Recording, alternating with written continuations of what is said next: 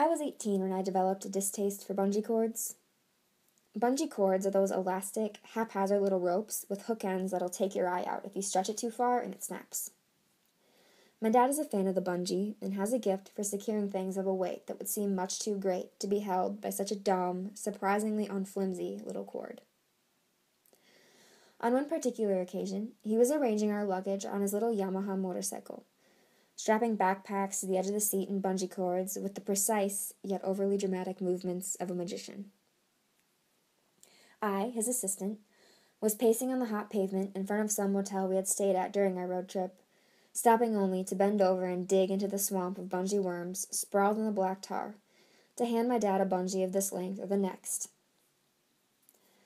That was the summer, in the frank heat of the South, that I decided I never want to see another bungee cord again. It was also the summer that I inherited from my dad not his love for bungee cords, but the value of taking calculated risks.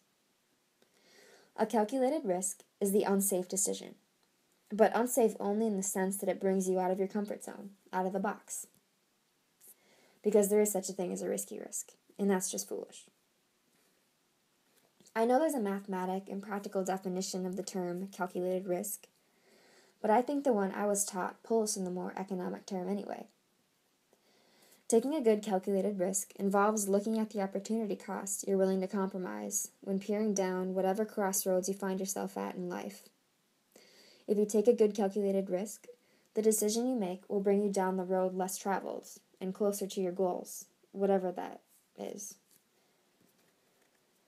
The motorcycle trip I took with my dad was a high school graduation present and served not only to expose two Northerners to the elements of the South, but to present to me a question What do I want to do with my life? I thought I made a good calculated risk by moving to Missouri to pursue a degree in journalism. But maybe I didn't. I'm still learning.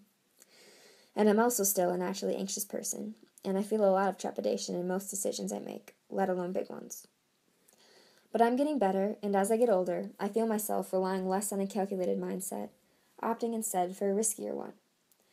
And when I'm faced with a big decision, I always take heed to the importance of following what's in my heart of hearts, offset only a smidge by the hesitation running through my head. One of the most powerful lessons I've learned in life is to consider the following. You can either own your choices, your safe calls, and your risks, or you can allow yourself to be a circumstance of your surroundings, growing increasingly angsty until your head snaps off in frustration like a backpack without a bungee cord. This, I believe,